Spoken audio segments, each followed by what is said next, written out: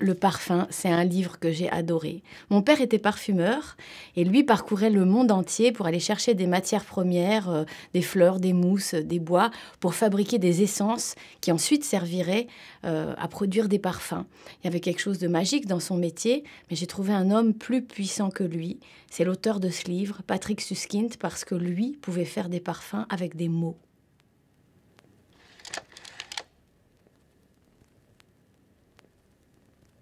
Les contes d'Andersen euh, continuent à, m'habiter beaucoup aujourd'hui.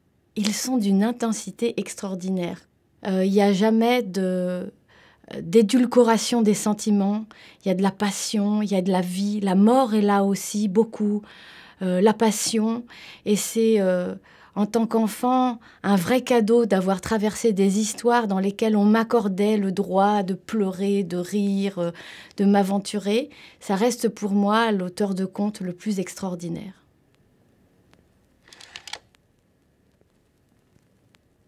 E égale MC2 Mon Amour, c'est un livre de passion amoureuse entre deux jeunes de 11 ans.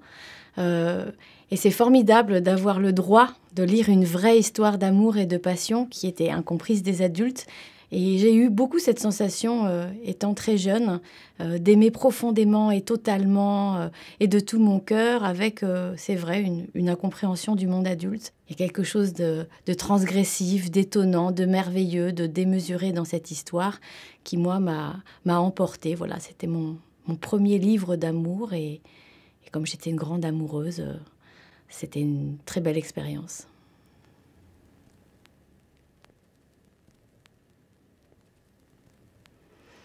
Les Misérables, c'est un livre qui est plein de personnages extraordinaires. Euh, une mère qui doit abandonner son enfant, une petite fille qui grandit dans une famille euh, qui ne l'aime pas et qui fait d'elle une petite boniche, euh, ce sont des personnages euh, que Victor Hugo construit avec beaucoup d'amour, euh, en leur donnant toujours la possibilité de changer, de s'améliorer, de prendre une nouvelle direction dans leur vie, et donc en les rendant libres finalement euh, d'être à la fois quelqu'un d'autre et, et eux-mêmes. j'ai aimé passionnément cette lecture et c'est vrai que aujourd'hui j'y pense beaucoup quand moi-même je construis des personnages pour jamais les enfermer dans un destin dont ils ne pourraient plus sortir.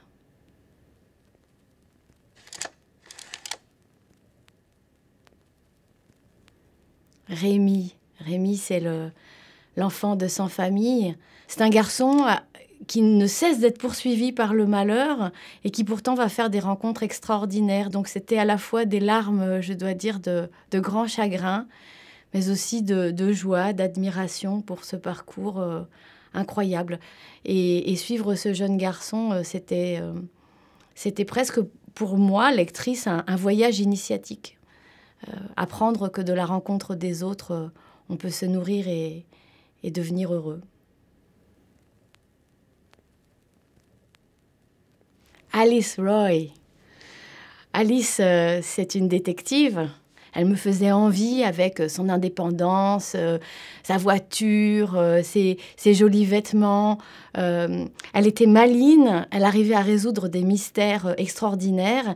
C'était un, livre de la collection Bibliothèque verte qui me donnait le sentiment, moi, de commencer à lire voilà, des livres plus difficiles. Et, et j'avais envie de lui ressembler.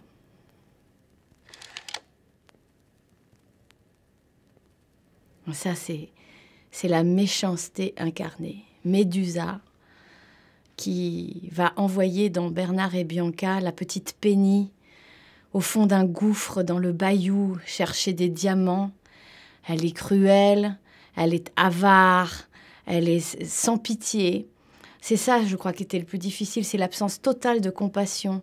Euh, c'était, on, voit bien avec ses yeux verts hein, la méchanceté et, à travers cette bouche et ces dents comme ça, euh, euh, trop nombreuses en fait. On voit qu'elle peut mordre, comme ces crocodiles qui sont ces deux bêtes domestiques dont elle se sert pour effrayer les autres. Et il y avait quelque chose là de du mal total en fait. Il n'y a rien de, de beau et de bon chez cette femme.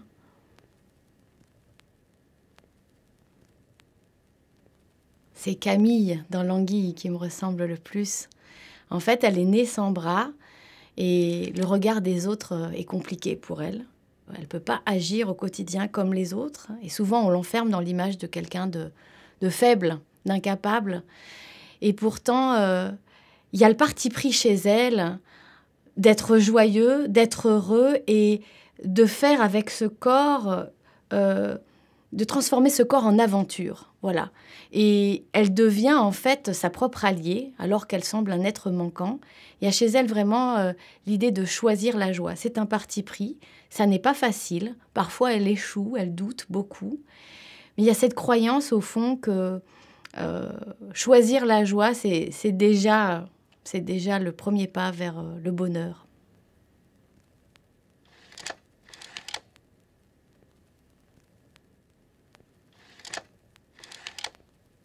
C'est la vue qu'on a de chez moi. C'est quand même pas mal.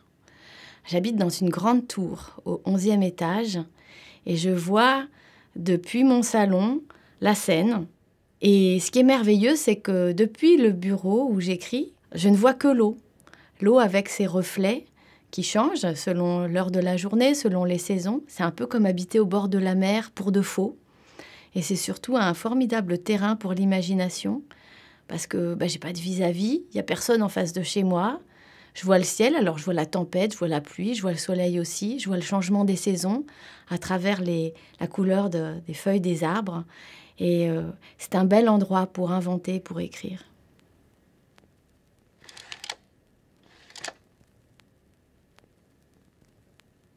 Alors ça, c'est moi, je dois pas avoir trois ans. je suis sur le muret qui est en face de l'entrée de ma maison. On, vit à la campagne. Et ce que j'aime, c'est me déguiser. On adore tous se déguiser dans cette famille, mais j'aime euh, euh, mettre des bottes de pluie avec euh, des bijoux de princesse. On a aussi beaucoup de costumes. J'ai une maman qui est tisserande, donc elle fabrique plein de choses avec lesquelles on, on change de personnage, on joue des pièces de théâtre énormément. Et, c'est très joyeux, c'est extrêmement joyeux.